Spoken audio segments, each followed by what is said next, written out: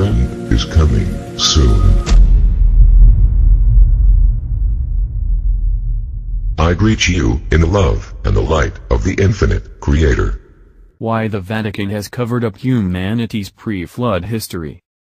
The Roman Catholic Church has worked hard to keep the general public from fully understanding the pre-flood civilization in human history. The pre-flood world is one of mystery and seems to have been edited out of history in order to fit within biblical ideologies, a strategy used to keep the human race from interacting with alien races. So, does the Vatican control history? Anyone who does research can see that history has been overwritten by powerful forces, evidence that come in the form of artifacts and scholarly articles have been hidden or destroyed. Why? Churches were built over pagan sites in order to conquer civilizations and cover up pre-flood remains. The narrative has been propagated. We are led to believe that humans were all once Neanderthals, then evolved into our current human state. But evidence suggests otherwise. Why would the Catholic Church go so far in order to orchestrate such a cover-up? Maybe because the pre-flood civilization was seeded by an alien species. Related, 10,000-year-old rock paintings depict UFOs and aliens. Disclosed.tv reports, these aliens seeded the early human populations to bring them to where we are today, although the flood wiped away much of this evidence. If the general public knew about this prior civilization, there would be no control over the population.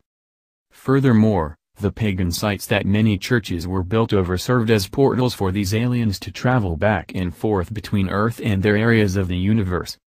Some evidence of this lies both in the remains of giants and those with other genetic deformities. Breaking, new DNA testing on 2,000-year-old elongated Paracas skulls changes known history. Why would the Catholic Church go so far in order to orchestrate such a cover-up?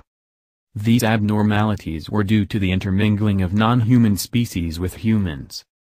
The flood attempted to wipe the slate clean of all of these abnormalities but did not fully do the job. Therefore, the Vatican had to come in with the ideologies of the Bible and attempt to cover up the rest of the evidence.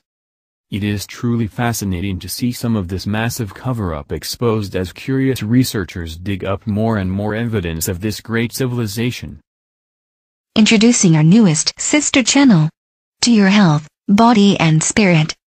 You can visit it from the link below in our description. Please like us and share with your social media. Please subscribe and click the bell to be notified of our new videos. Remember to check out our playlist for important intel you may have missed. And visit our sister channel. Event is coming soon. For additional intel and information, stay tuned. Victory of the Light.